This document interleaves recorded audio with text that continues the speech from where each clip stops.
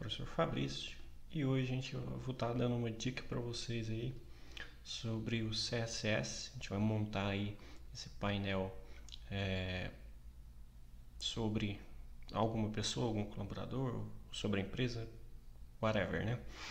É, perfilzinho do seu funcionário, do seu colaborador dentro do seu website. E aqui a dica que eu vou dar hoje para vocês vai ser como utilizar um background de duas cores, né? Então aqui em cima tem uma e aqui embaixo tem outra. Isso aqui é usando background color, tá?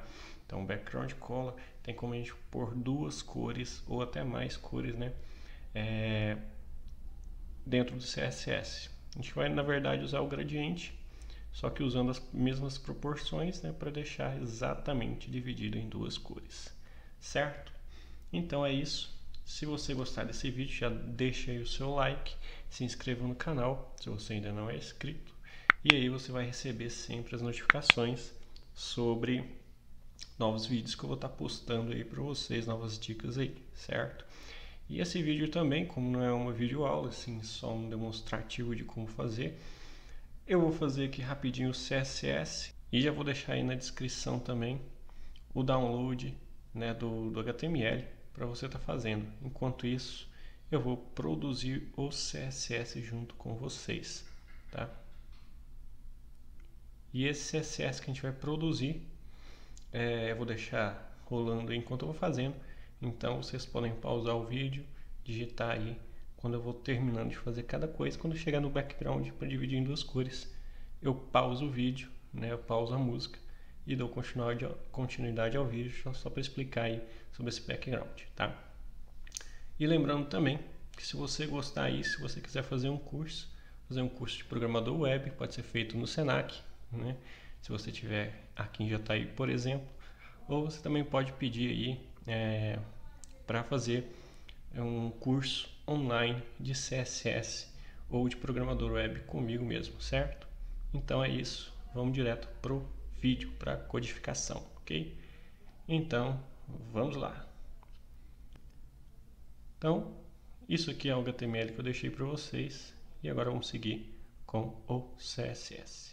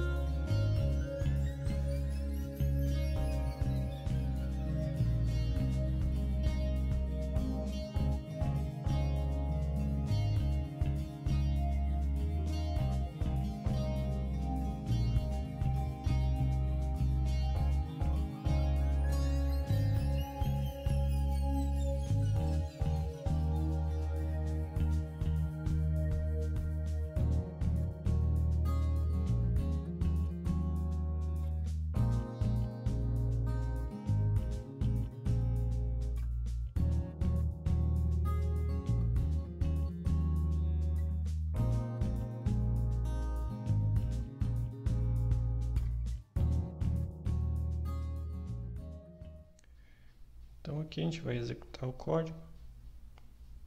Já está quase mais ou menos pronto.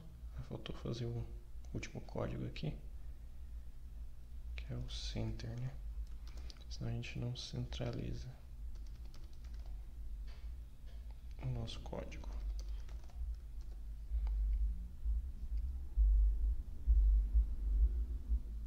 Nosso painel. E agora a gente vai fazer o, a questão do gradiente, né? Para que essa cor, que é a nossa cor primária, fique somente na parte de cima, né?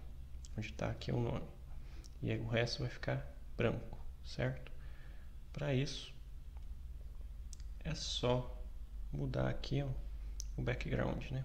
Vou deixar a cor aqui. A gente vai fazer as seguintes alterações. A gente vai colocar, né, um linear gradiente. Gente vai colocar um linear gradiente aqui.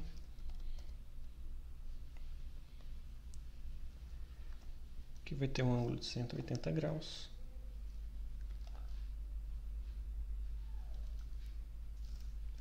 Vai ter aqui a cor primária como sendo a primeira cor.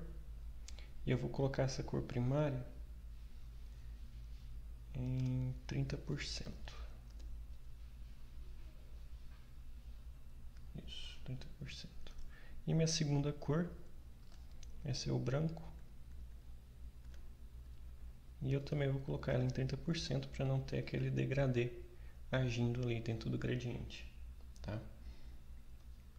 Fecha aqui, ponto e vírgula. Então só isso aqui, ó, só esse linear gradiente. Coloquei o ângulo de 180 né, para dar um giro aqui. Essa cor primária vai ficar em 30% e o meu, o meu branco também vai ficar em 30% para não dar o efeito do gradiente. E aí ele vai ficar desse jeito aqui, tá? Então essa aqui é a forma que eu faço para ter mais de duas cores né, dentro do meu background. Então fica parecendo que eu tenho dois elementos, um aqui e outro aqui. Mas a verdade é só um elemento, é só o background do gradiente, né?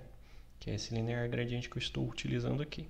Além desse linear gradiente, existem outros tipos de gradiente. Eu coloquei 30% porque se a gente colocar mais, ó, deixa eu colocar aqui, por exemplo, na verdade, eu coloquei eu podia colocar no zero que não vai fazer efeito nenhum. Porque o de cima ele não faz efeito se for maior que o de baixo, né? Então vamos colocar aqui. Então, ó, se eu colocar assim, com diferença de proporcionalidade, ó, ele faz o gradiente. Ou seja, aquele degradezinho de troca de cores. Não é isso que eu quero. Quero que ele mantenha é, as cores sem troca de gradiente. Por isso eu deixo os dois em 30%. Então, 30% do meu da minha div vai ficar com ele.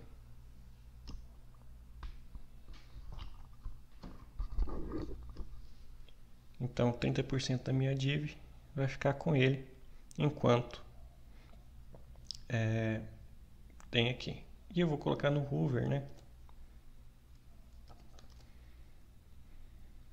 a cor primária light. O light né? O light eu já usei e aí ó se eu executar ele faz esse efeito aqui certo? Outra dica eu sei que a dica aqui é só sobre o gradiente outra dica que eu tenho é você fazer esse root aqui né porque se você quiser trocar essas cores depois por exemplo ó, fica mais fácil porque você só vai precisar trocar uma vez quer ver só troca aqui, ó, as cores. E aí você não precisa mais trocar nos outros lugares, né? Porque você vai usar a referência dela.